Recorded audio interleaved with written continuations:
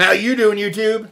With Massive Beer Reviews, back with obviously a review, but a little bit of side by side, or a little versus review in the form of Civil Society Brewing's Space Puppies versus Space Bunnies Double IPA. Um, Civil Society. Don't know much about them other than the two beers I've had previous. Those two beers come courtesy of Ralph. Thank you very much, Ralph. Uh, he sent me off a couple beers, two beers, a couple weeks ago. Um, went through those. Didn't post the reviews as the time of this. I'd probably have posted them. Um, but then he immediately backed it up with a kind of six beer bomb of Civil Society beers. Uh, you can watch that unboxing if you want to go back to my reviews. And um, these two were in that box. And you know, one Space Puppies, one Space Bunnies. They're both double IPAs. I figured, got to do them together. I don't know if they're the same beer. Uh, I don't know anything about them because I don't do any research on anything. But I figured they're probably a bit different. So why not do a side by side for science? So here we go. As far as what it says on the puppy can, it says Space Puppies, double IPA, 8% alcohol by volume. Done. No date on that can. Uh, he sent me the date, so I'm a poop poopy person for not posting that or reading that or whatever. Anyway, and then we have Space Bunnies. It's double IPA, 8%. Oh, very much the same. And that be that. Um, so yeah, label-wise, they're exactly the same except for coloration. And one has a puppy, looks like a Boston Terrier on it, and one has a uh, bunny. I do not know my bunny genuses, so you can um, go from there and kind of figure that out on your own. But yeah, I actually do like the cans. To be perfectly honest with you. Listen, there's bunnies and puppies involved. Listen, if you hate bunnies and puppies, if you're not allergic, well, I don't think you'd be allergic to bunnies. I know people that get bunnies because they're allergic to puppies, but if you're not allergic, then if you don't like dogs, I mean bunnies, whatever, but bunnies, but dogs, we can't be friends. Sorry. So let's do the uh, the uh, little, yep, little pour here. See if I screw this up. I've been nailing these as of late, actually. I haven't even been practicing. Just kind of crushing it. That's not too shabby. Put that sucker there. That sucker there. And let's see. Um, yeah. They both look exactly the same. A little bit more in this one. My Durox Health has to fix that. So we'll pour a little more. Get these exact even for you guys so you can see. Uh, yeah, that's about right. Um, yeah, they look almost exactly the same. This one seems like it has a little bit more creaminess to the head. This one has a little bit more kind of rocky kind of bubbles to it, but nothing too crazy. Maybe a little bit darker over here. Maybe a little bit. But overall, pretty much the same thing so far. So, see if we get a nose on the old puppies over here.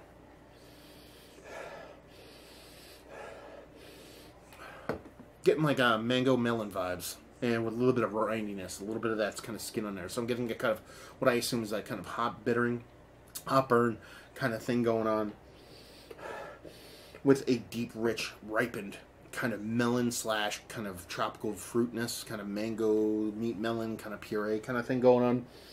With a bunch of sweetness, not too much bitterness in there. see what Bunnies has to offer.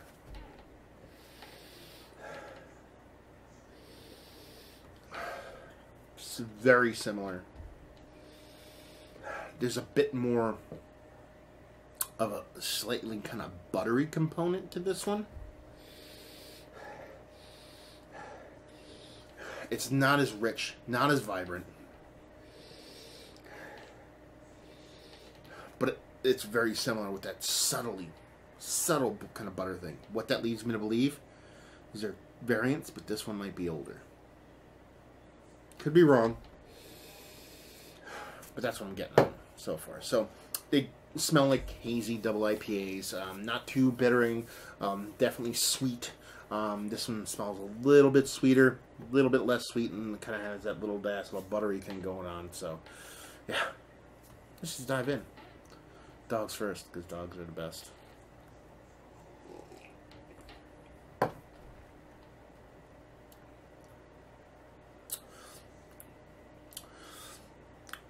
Way more bittering in the mouth it lend itself on the nose. You do get that kind of, you know, ripened melon, kind of papaya, tropical fruit melon thing vibe going on. But it's way less than the bittering. Um, it, the sweetness is in there, but that bittering is so big, and the yeast is so dense, and the hopper is so dry that it kind of cancels out a lot of that sweetness. It's still there though. It's kind of like you know, if you had a teaspoon of sugar and you put it into a cup of salt and ate a cup of salt, you still ate a teaspoon of sugar. You just don't taste the salt. It's kind of what you have going on here. Combination of the yeast and the hops and all that. Just pushes back that sweetness. Kind of makes you think it's way more bitter and not as sweet as it is, but it actually is. And that's pretty much it. Big bittering. Each time it gets way more palate smacking. Um, it's like a greeny bittering, like a generic weedy bittering, not super dank or not middies or anything like that. You know, kind of generic weedy kind of dankiness. Not as like vibrant as green. Um, that's it. Let's get on that bunnies. Cheers.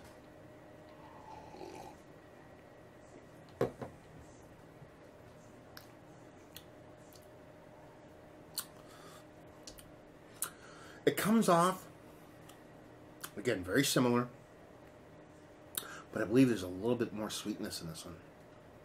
Or a little bit, I don't know if it's a little more sweetness, a little less yeasty, kind of hot bittering.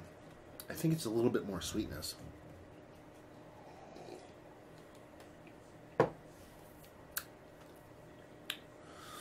Mouth feels a little less, there's a little bit more kind of mango rindiness in here as opposed to hot burn kind of vibe.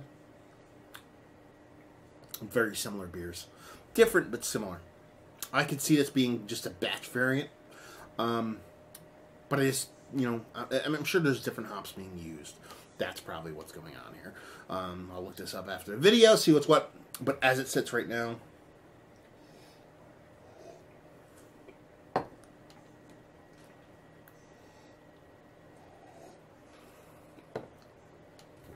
very similar. Like I said, this has more in the nose, but ever so slightest amount, a little bit of that butteriness in there. So I'm guessing this has a bit of age on it. Not much, but probably a couple weeks older than this one. That's just me taking a shot in the dark based off what I taste. But that's pretty much it. Um, not much else to talk about, to be perfectly honest with you. They're, you know, they're big, big, thick, hazy, yeasty, hoppy, particulate, hop, this hop, that hop, dry hop to here and there and the other thing, kind of facsimiles of of a lot of what's been going on in the hazy beer world. It's it's it's it's coming gonna, gonna come off a little bit beat the dead horse because what I'm gonna do here is I'm probably gonna post all these civil society beers all at once, and this is one two three four, the fourth one I've had, and they're ringing true to what um, from each beer to beer, uh, which is that they're you know a brewery that is trying to do the New England style IPA thing, is kind of getting that haze in check, getting that hop in check, getting that yeast in check, and getting just reaching for a beer to look and taste. uh, Look, I don't want to say taste. Look and be like a super hazy IPA, not letting the beer do it. Um, it, it, it I'm not saying they're not going to get to a level that I enjoy them. And again, this is all my personal opinion, not me kind of judging them. You know, five out of fifty or ten out of twenty or thirty out of whatever. Um, this is it, it tastes like a brewery that's trying to do what the kind of upper echelon does do, but has yet to find their own voice in there and is doing is just making super hazy stuff. It, it, it tastes like there's something in there. It tastes like there's personality in there, but I've yet to have one yet from them. So it's it, it's similar in the sense that a lot of things I talk about Magnify.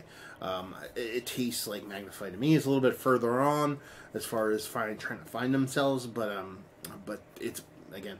Been saying the same thing about Magnify for about a year now.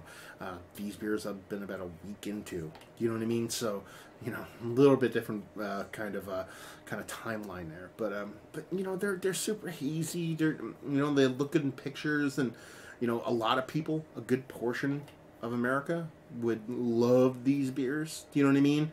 Um, and think they're fantastic. And I'm not saying there's anything wrong with them. And, and I've, you know, I've learned this thing too.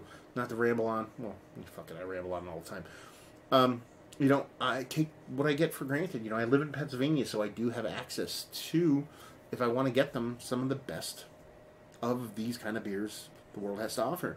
You know, I've kind of been like, oh, these this beer, I'm, you know, whether it be other people's reviews or talking with other people around the country. But like, yeah, I'm like that, those beers are kind of meh. But then they're like, you don't understand down here in Texas or or even California. Be like, we have four, one brewery, two breweries, California, maybe five, ten breweries doing these. You have 87 breweries doing these beers. So you have so much to weed through that the the next level shit just is so much easier to get. Maybe I am. Maybe I'm being a little bit kind of like um, you know too just too easily attainable. I'm, I'm, the person that eats steak every day and kind of complains when I get just a base cut instead of a fucking Kobe beef. I don't know if that's the case. It certainly could be. But what I do is I drink beers and I talk about them on what I've experienced. And from what I've experienced, this brewery could definitely get to that point. But right now, from what I've had, and I still have some more to go. I think I have four more to get through, maybe three more. You know, they're they're just they're not bad. They're just they've they haven't gotten to the point where they figured it out. Sounds so pretentious to say that, but whatever. Anyway, let's talk about it. Are these some of the better double IPAs that I've had as of late? No, not for me. Not bad by any sense, but I have so many good ones. that the ones land better for me. Value availability, don't know. Maybe Ralph can chime in, let me know. And I assume it's a brewery only thing. And just say if you like what we like this. If you like what I talked about it, you know, if you like the haze for days and you want to have that, you know, kind of, you know, any IPA dude bro thing going on, this is where you're at. You live in Florida, this is might be the best you can get from that line. Do you know what I mean? I don't know. You know what I mean? But if you're kind of one of those people, those you know, you know, kind of, you know, big come from money white collar dudes that are constantly like you know trading beers and you're getting you know your any you know your whatever trilliums tree houses your equilibriums of the world and this is going to be just a little bit behind it. Not bad just a little bit behind it as far as impact and flavor. So if you're looking for new breweries that do things this is a brewery to look out for. Try them now. Try them later. Per, you know get, and I think I said this in another video, buy their beers, keep them open. Do you know what I mean? Get them to want to keep being creative and make different beers. And then, you know, in months or a year from now, when they start making these crazy beers, you know, then you know the progression and growth it takes to actually get to that point. You know what I mean? But uh, so yeah, if you like a hazy IPAs and you want to help make a brewery kind of keep keep on keeping on. Can I actually say that? I don't know. It's hippie shit. But anyway, then give them a whirl. So there you go. Another review in the books. Hopefully you enjoyed it. Words and stuff. Uh, down there, if you want to chime in, Facebook, Twitter, Instagram, Untappd. Massive Beers, all four of those places. And yeah, another review down. So hopefully you guys enjoyed the review. Hopefully enjoying this Civil Society beer right now. Hope to see you next time. Cheers.